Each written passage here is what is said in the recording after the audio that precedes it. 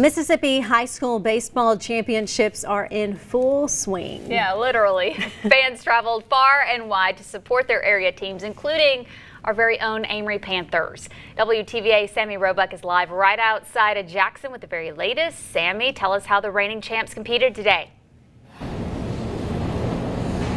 This game is not your typical state championship duel. The Amory Panthers have fought back on and off the field through trials and tribulations, not the usual ups and downs that sports typically bring, for a bid for their next back to back state title in baseball.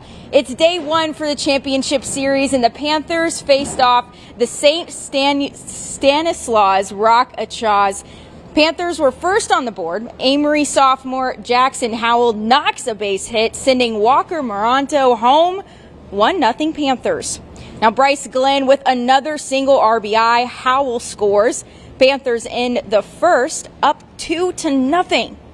But that's not the end of the story. After a 3 and 1 lead, Amory let up three consecutive bases loaded walks.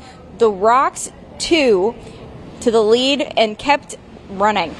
Brady Wallace hit the final run. Amory falls 7 to 3 in game game 1. Head coach Chris Pace says they aren't done yet. Four hits, 11 walks. Yeah. I'm not going to win many baseball games doing that. That's not us. Uh, worst inning we've had all year. They, they, came today. They'll be back Thursday and they'll be back Saturday. You know, uh, special. Uh, you know, I think maybe that uh, we sort of got through the playoffs there and we got that 3 1 3 three to one lead, maybe hit cruise a little bit, just sort of didn't uh, didn't keep the gas down. But it is what it is now. Have to regroup, come back, try to get two more. Amory was hit by a tornado in March and are still rebuilding. But the tornado didn't take away their community, and that's what shows today. The Panthers even have an entire student section for game one. Many area teams opened up their facilities to help the Panthers practice after their field was destroyed this season. Seventh grader Cole Childers says it means a lot to come out and support the team. He says they have accomplished and overcame so much this season.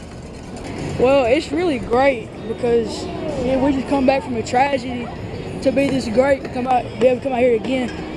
I'm really excited about this student section just to see what we can bring because last year we really brought a great student section, so hopefully we can bring that again. It's awesome. I mean, these these boys right here have been through a lot. They went through way more than I did, and uh, it'd just be awesome to go back to back. Yes, I mean, all these boys are my best friends, and I, I love. I've been playing with them my whole life, and I love every one of them. I hope, I hope they win.